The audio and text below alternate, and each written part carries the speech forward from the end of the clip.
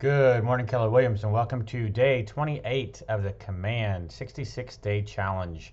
Marty Miller with Summit Property Group in Houston, Texas, coming back to you to follow up on the challenge we had yesterday, where we created an ad in Lead Accelerator for Facebook and Instagram via Lead Accelerator.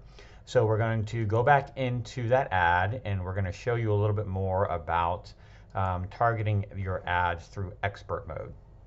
So first of all, I came back into the ad that I created yesterday. Um, basically, I had saved it as a temp or saved it as a draft. First thing you should notice is that yesterday I set it up for 10 days, but that was based upon yesterday's date, meaning it would go live the following day. That still has yesterday's date in it. So I'd have to come in here and change that. If I change it to the 20th, realize that it doesn't change your end date. So now my ad is only running for nine days, which does impact my daily budget. If I still wanted to run the ad for 10 days, I'd have to come in and change that to the 30th, and then it'd reset my budget allocation down here. So just make sure you guys see that and that gets um, you know situated for the 10 days. Down here at the very bottom, ad targeting. We talked yesterday about the basic targeting with regards to age, location, and radius. However, if you toggle expert mode, we can start getting into some advanced targeting, um, demographics, hobbies, etc. So first you can choose between gender, male or female, and then you can get into the advanced targeting. If you click on browse, it's going to show you the different opportunities you have. So demographics, interests, and behaviors. Just kind of thinking about some of the homes that I've listed in the past, um, I have listed an equestrian property. So if I wanted to target an ad towards buyers for an equestrian property, I could click on interests then come down to hobbies and activities, and then further down into pets. Although most people don't think of horses technically as pets, there is one here. And if I hover over this, it shows that there are, what is that, 174 million people that have said at some point they have expressed an interest or they like pages related to horses. So if I clicked on that, then the advanced targeting would show interest, hobbies, and activities, horses, it would target that group. Just remember Facebook and Instagram is an and setup, meaning that if I come in, okay, great, so I have that set, and now I want to go into, let's say, say I don't know, something easy like behaviors, uh, purchase behavior. No, let's do, I don't know, demographics, right? And I wanted to make sure that uh, they at least had a college education. Um, so college grad.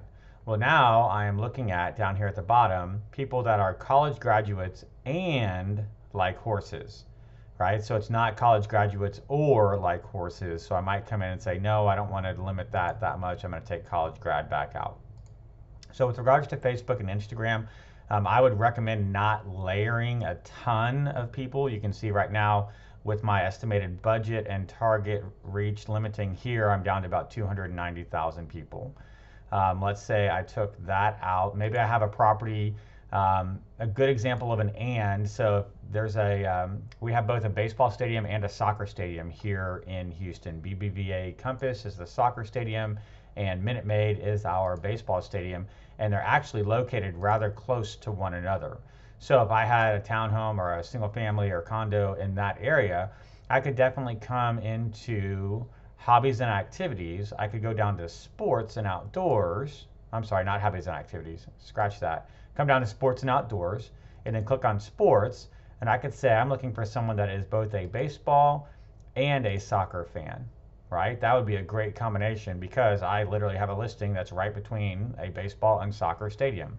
So that might be a, an example of something where you're doing two different now, granted, we went from 290,000 with people that were interested in horses down to um, one point or up to, excuse me, 1.3 million with regards to people that are both baseball and soccer fans. So you kind of play with it and see um, as you go through what the estimated target reach is based upon the advanced targeting that you're doing. We can always click on remove all and it takes that away. Um, one last one I could think of, maybe if it was a I've listed a home before where it had like a 10 car garage. I've also listed a home before where it had an RV barn. So I could go into browse, um, let's say hobbies and activities, and um, let's see, is it under hobbies and activities? Vehicles, there we go. So vehicles, so um, RVs. here's an entire section, right, of people that are interested in RVs. 2.7 million people interested in that who have expressed an interest. So if I go back, it shows me now again that only gets me down to 80,000 advanced target reach. However, how many people are going to be interested in a home with an RV barn, right? Probably people that drive or have an interest in an RV. So just one last example of how you could do advanced targeting in order to take your ad for your listing and really focus on people that have a high interest in what your listing has to offer with regards to location or amenities or that type of setup. So that's today's Command 66 Day Challenge. Get into your Instagram or Facebook ad that you created yesterday.